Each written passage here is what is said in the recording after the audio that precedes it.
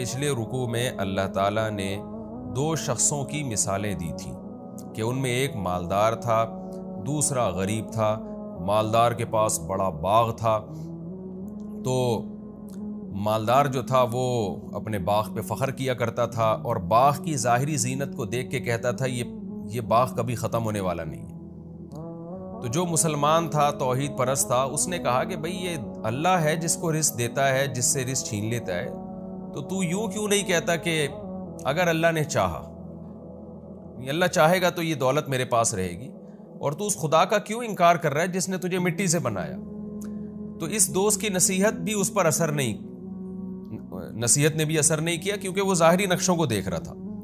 उसकी सज़ा क्या मिली? अल्लाह फरमाते हैं कि उसके बाग पर रात के वक्त कोई आफत आई है और सुबह वो कफ़े अफसोस मलने लगा और उसको तोबा की तोफ़ी मिली और कहने लगा, या लई तनी लम उशरक भी रबी अहदा। काश मैं अपने रब के साथ शरीक न करता। ये भी एक नौीयत का शिरकी है कि आप अपने आप को खुदा समझने लगें और अपनी मेहनत को समझने लगें कि मैं जो करूँगा, मुझे उसका रिज़ल्ट मिलेगा। खुदा के इरादे का इसमें गोया दखल नहीं है। तो ये कुरान ने एक मिसाल दी, एक बाग की, जो कहा जाता है कि शाम के शहर रमला में कोई रमला शहर है, वहाँ पर ये बाग का वाक़ हुआ है। बाज़ मुफसर ने लिखा है, वल्लाह आलम। अब कुरान मिसाल दे रहा है इस रुकू में कि उस बाग को तो तुमने नहीं देखा और उस मिसाल को भी नहीं देखा, लेकिन उससे मिलती जुलती मिसालें तो तुम सुबह शाम शाम अपनी आँखों से देख रहे होते हो।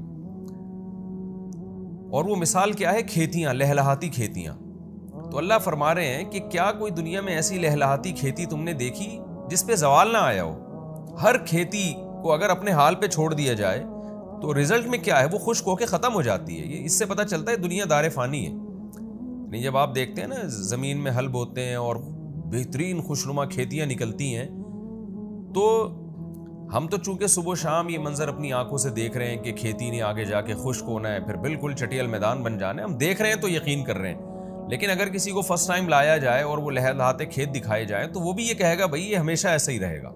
लेकिन हम इस देख रहे हैं दुनिया में कैसा जवाल आता है, ज़मीन बंजर होती है, खुदा अपनी कुदरत से हरियाली पैदा कर देता है हालाँकि उस बंजर ज़मीन को देख के लगता है कि कभी यहाँ कुछ पैदा हो ही नहीं सकता। लेकिन अल्लाह अपनी कुदरत से हरियाली पैदा कर देता है। जब हरियाली कर देता है, फूल बूटे उसमें पैदा होते हैं तो उसको देख के लगता है कि ये हमेशा ऐसी रहेगी, लेकिन कुछ ही वक्त में अल्लाह उसको चटियाल मैदान बना देता है। तो ये दुनिया में इतनी उखाड़ पिछाड़ है, दुनिया में इतना उतार चढ़ाव है तो तुम अपनी मौजूदा हालत और अपनी दौलत और अपनी शोहरत और इस दुनिया की रंगरलियों को देखकर धोखे में क्यों पड़े हुए हो? जैसे खेती नहीं होती और फिर हो के खत्म हो जाती है तो दुनिया भी नहीं थी। तुम भी नहीं थे, पैदा हुए, फले, फूले, और फिर तुम्हारे तुम्हारे ऊपर भी जवाल आने वाला है। तो ये, इस मिसाल से कुरान ये समझा रहा है कि ये दुनिया दिल लगाने की जगह नहीं है तकबर की और इतराने की जगह नहीं है। इस पर उतार चढ़ाव होता रहता है। इसलिए कुरान आगे मिसाल देता है वज़रिबलहम हयाती दुनिया। ए नबी, आप इनके लिए बयान कर दीजिए, दुनियावी ज़िंदगी की मिसाल। कि ये दुनियावी ज़िंदगी जिस पे तुम फ़ख्र करते हो, दौलत, शोहरत और लालच और इन सब चीज़ों के पीछे भाग रहे हो, कमा इन। इसकी मिसाल तो उस पानी की तरह है। अनजल नामिन समाई, जिसको हमने आसमान से उतारा। यानी सिर्फ़ पानी की तरह नहीं है, ये पानी और उसके बाद जो खेतियाँ वजूद में आती हैं, इनकी तरह है। इस पूरे मंजर की तरह है जिसको आगे कुरान बयान कर रहा है। फ़ख्त नबातुल अर्द फिर उस पानी से ज़मीन की नबातात फलती फूलती हैं, उनमें उनमें एक रौनक पैदा होती है। लेकिन फिर उसके बाद नतीजा क्या निकलता है? फ़ासबाहा हशीमन, उसके बाद दोबारा वो रेजा रेजा हो जाती है। तहरूह रियाह, और फिर हवाएँ उसको बिखेर रही होती हैं। कोई हाल नहीं होता उसका। हवाएँ ऐसे बिखेर रही होती हैं। वखान अल्लाकुल्लशई मुख्तरा इससे साफ़ पता चलता है कि अल्लाह हर चीज़ पर कुदरत रखता है। वो जब चाहता है एक ज़मीन को रौनक दे देता है और जब चाहता है उस रौनक को ख़त्म कर देता है। तो तुम्हें भी जब चाहेगा, अल्लाह दौलत दे देगा, जब चाहेगा छीन लेगा तो ये तुम्हारी चाहत पर नहीं है, ये हकीकत में अल्लाह की चाहत पर है। आगे अल्लाह ताला उस दुनिया की वो मिसाल दे रहे हैं जो, जिसको दुनिया कहा जाता है। अभी तो इस आयत में मिसाल दी ना अल्लाह ने, एक अमूमी मिसाल दी है कि दुनिया की, पूरी दुनिया की मिसाल यही है।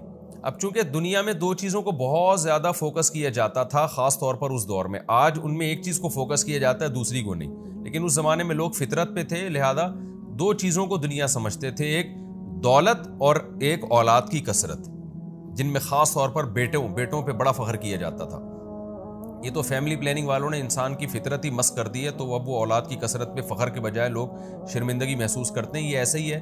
जैसे औरत को छोड़ के लोग मर्दों की तरफ़ माइल हो रहे हैं, औरतें मर्दों को छोड़कर औरतों की तरफ़ माइल हो रही हैं, जो लेसबियन किस्म की और ये जो एलजीबीटी टाइप के मर्द पैदा हो रहे हैं। तो ये नेचर से बगावत है ना कि जो जिस चीज़ में अट्रैक्शन थी, वो अट्रैक्शन ख़त्म हो गई।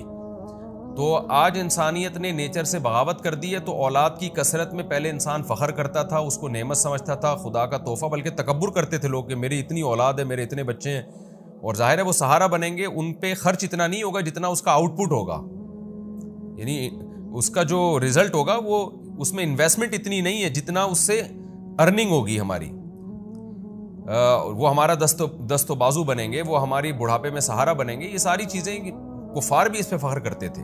तो फैमिली प्लानिंग वालों ने दिमाग ख़राब कर, करके ना इतना झूठ बोला है इतना झूठ बोला है कि जो चीज़ इंसान के लिए सबसे ज़्यादा अट्रैक्टिव थी वही एक ताना बन चुकी है। यानी औलाद की कसरत जिसमें हमेशा से इंसान फ़ख्र करता था, अब वो एक ताना बना दिया फैमिली प्लानिंग वालों ने तो ये भी फितरत से बगावत है। लेकिन कुरान चूँकि उस दौर में नाजिल हो रहा है, जब लोग अपनी फितरत पे थे तो कुरान मिसाल वही देगा जो नेचर के मुताबिक होगी। इसलिए अब कुरान दुनिया की उन दो चीज़ों की मिसालें दे रहा है, जो दुनिया में सबसे ज़्यादा काबिल फ़ख्र समझी जाती हैं। उसकी मिसाल दे के कुरान कहता है कि अलमाल बनून जीनतुल हयाती दुनिया, माल और औलाद।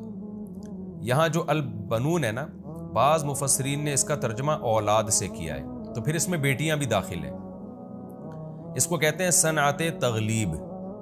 जैसे वालिद के लफ्ज़ में हम जब तस्निया बनाते हैं तो वालिदैन।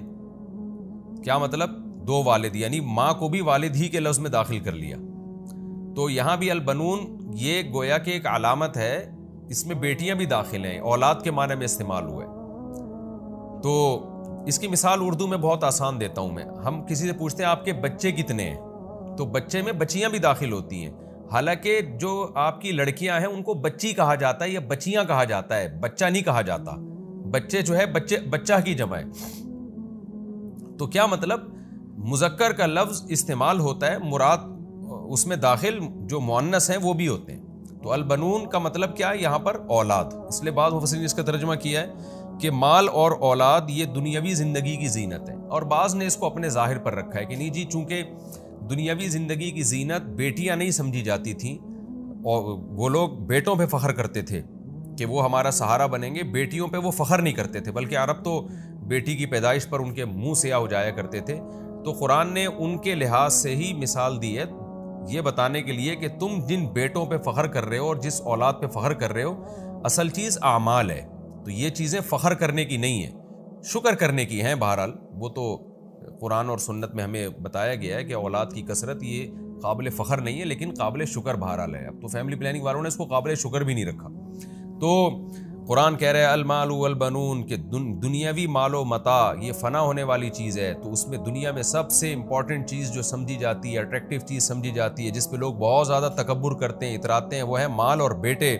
तो अल्लाह कहते हैं, जीनतुल हयात दुनिया ये सब दुनियावी ज़िंदगी की जीनत है भाई। और दुनिया का हमने तुम्हें मिसाल दे दी है कि फ़ना होने वाली है। यही औलाद तुम्हें कल कब्र में उतारेगी और यही माल जब बग़ैर जेब के कफन हो पहनाया जाएगा ना और तुम्हें कब्र में लिटाया जाएगा तो यही सारी औलाद तुम्हारी जो है, ये सारे तुम्हारी जायदादों के हिस्से बखिए करके खा रही होगी। तो इसलिए ये ये दुनियावी ज़िंदगी की एक जीनत है। जीनत क्या होता है कि वो चीज़ जो देखने में अच्छी लगती है। चाहे हकीकत में अच्छी हो या ना हो। आगे क्या है?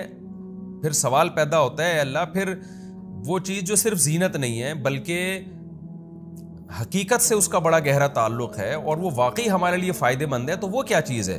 अल्लाह फरमाते हैं वलबाक़ियात सालिहात बाकी रहने वाली चीज़ें, वो नेक आमाल हैं।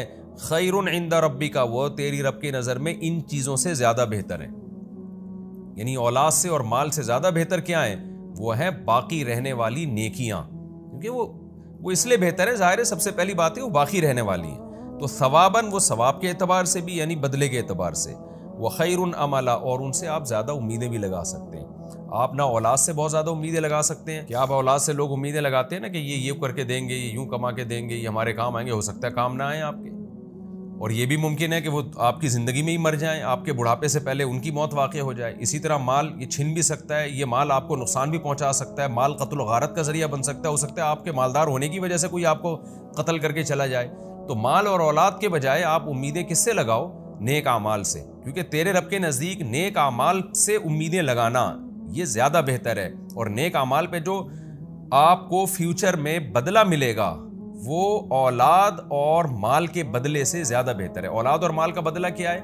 आप समझते हो मेरा माल होगा तो फ्यूचर में उसके बदले में मुझे ये मिलेगा। मेरी औलाद होगी तो फ्यूचर में उसके बदले में मुझे ये बेनिफिट्स मिलेंगे। तो अल्लाह कहते हैं, आमाल पर जो तुम्हें मुस्तबिल में फ़ायदे मिलेंगे, वो वो ज़्यादा हैं इनके एतबार से।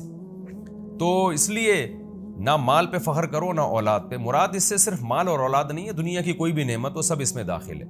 बाकी खूब समझ लें इस आयत का ये मतलब हरगिज़ नहीं है कि औलाद की कसरत की फ़िक्र नहीं करनी चाहिए। वो तो नेक आमाल में दाखिल है कि आप औलाद की कसरत की अल्लाह से उम्मीदें भी लगाएँ और अल्लाह से दुआएँ भी मांगें और औलाद की कसरत की ख्वाहिश भी रखें, क्योंकि ये तो कुरान सुन्नत का हुक्म है। तो यहाँ औलाद और माल से वो माल और वो औलाद मुराद है जो आखिरत से आपको गाफिल कर दे। जैसे कि मुशरकिन मक्का, जिनको अल्लाह ने बहुत ज़्यादा बेटे दिए थे, वो इसी पे फ़ख्र किया करते थे। वो ये कहा करते थे कि अगर अल्लाह हमसे खुश ना होता तो हमें इतने बेटे क्यों देता? और हमें किसी से डरने की ज़रूरत नहीं है, कोई अजाब नहीं आएगा, ये औलाद है जो हमें बचाएगी। वो इस तरह की फजूल बातें किया करते थे। तो कुरान ने उसकी नफ़ी की कि भाई, तुम इन पर तकिया करके बैठ गए हो और अमाल से तुम गाफिल हो। तो बाकी अगर कोई औलाद की कसरत चाहता है अल्लाह रसूल के हुक्म की वजह से तो वो तो नेक अमाल के मफहूम में ये चीज़ खुद ब खुद दाखिल है। इसी तरह कोई माल चाहता है कि मेरे पास माल ज़्यादा हो और नीयत ये हो कि अल्लाह उसके रसूल का हुक्म है ताकि मैं खैर के कामों में खर्च करूँ और लोगों के सामने हाथ ना फैलाऊँ। तो ये माल फिर अल्लाह के हुक्म की वजह से माल कमा रहा है तो ये नेक वलबाकियात सालहातों में ये दाखिल है। फिर ये नेक अमाल में दाखिल है। फिर ये माल बराए माल नहीं है, बल्कि तो शरीयत का हुक्म है। जैसे कि रसूलुल्लाह सल्लल्लाहु अलैहि वसल्लम ने फरमाया, जो ताजर, जो शख्स तिजारत करता है ताकि लोगों के सामने हाथ ना फैलाए। तो एक रिवायत का मफहूम है कि इस तरह का ईमानदार ताजर क़्यामत के दिन पैगम्बरों के साथ होगा।